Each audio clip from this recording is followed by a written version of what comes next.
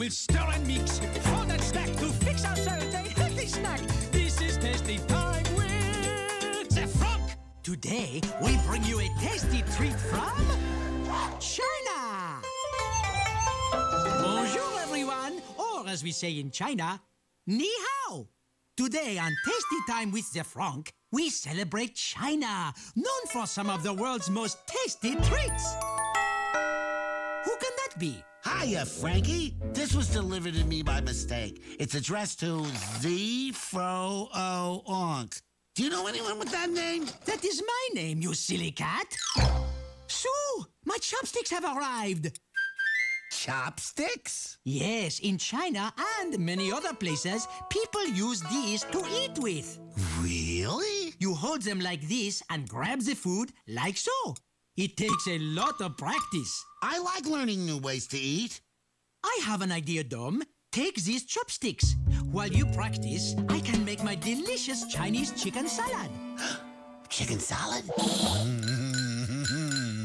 For today's recipe, we need iceberg lettuce, mandarin oranges, sliced almonds, chicken, and light sesame dressing. But before we cook, we must wash. Wash along with me. We wash our hands to make them neat before we mix our tasty treat. Thank you, Sue. Start with a big, big bowl. Tear some pieces of lettuce like this and put them in the bowl. Tear with me. Tear, tear, tear. Excellent. Oh. Next, layer in the mandarin oranges, the sliced almonds, and some tasty pieces of chicken. oh, sorry, Birdie. Ow.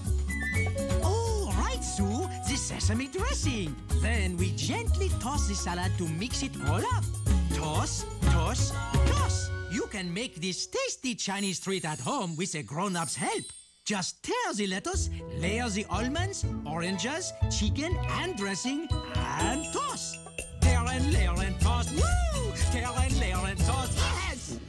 Dumb. oh, you're right, Frankie. Practice really pays off. Thank you, Dom.